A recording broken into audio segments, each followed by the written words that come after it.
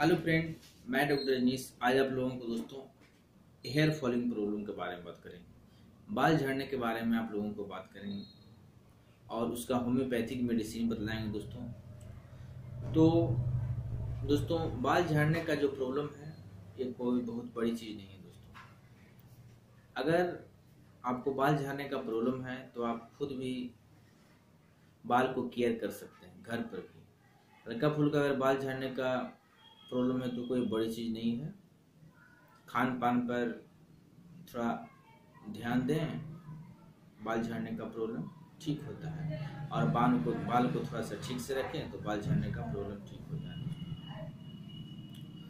दोस्तों, बाल झड़ने में होम्योपैथिक मेडिसिन बहुत ही बेटर काम करती है। और बहुत सारी मेडिसिन है दोस्तों, होम्योपैथिक में, जो बाल झड़ने की समस्या को दूर करती है दोस्तों। और एक से एक मेडिसिन है। तो दोस्तों, पहले तो आप ये जान जाएँ कि बाल झड़ने का प्रॉब्लम क्यों हो रहा है?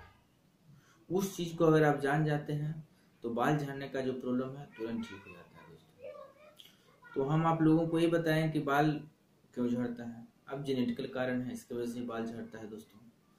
गंदगी की वजह से ही बाल झड़ता है। अगर आप कमज़ोर हैं, वीक हैं, बहुत ज़्यादा सोचते हैं, टेंशन से ही बाल झड़ता है दोस्तों।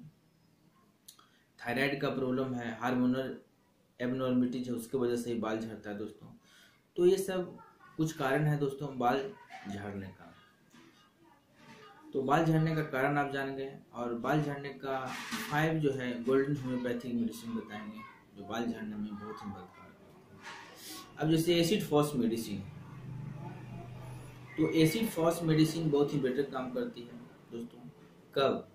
जब आप बहुत ज़्यादा सोचते हैं, उसके वजह से बाल झड़ने की प्रॉब्लम है। तो आप एसिड फॉस मेडिसिन लें, तीस नंबर में लें या दो सौ नंबर में लें, सुबह, दोपहर, शाम दो दो बूंद खाएँ, बहुत ही बेटर काम दूसरी मेडिसिन है थूजा थूजा भी, दोस्तों हेयर फॉलिंग में बहुत ही बेटर काम करती है। अब जैसे बाल में डेंड्रफ की भी समस्या हो और बाल झड़ रहा हो, जेनेटिकल भी कुछ कारण हो, जेनेटिकल भी कारण हो तो दोस्तों, थूजा मेडिसिन बहुत ही बेटर काम करती है। थूजा मेडिसिन आप 200 में भी ले सकते हैं थर्टी में भी ले सकते हैं। दो दो बूंद खाएँ सुबह, दोपहर, शाम, दो बार खाना है तो 200 सौ पाउडर मैंने सुबह, शाम दो दो बूंद खाएँ, बहुत ही बेटर काम करती है। अब दोस्तों, सोरीना भी मेडिसिन जो है दोस्तों, भी बाल झड़ने में काम करती है फास्फोरस भी काम करती है सीपिया भी काम करती है नेट्रामिल भी काम करती है जबरंडी भी काम करती है। तो दोस्तों, ऐसा बाल झड़ने में बहुत सारी मेडिसिन है। इतनी मेडिसिनों को आप न जाने, एक कुछ कारण है दोस्तों, जो मेन मेडिसिन है दो, आप लोगों को बतलाए।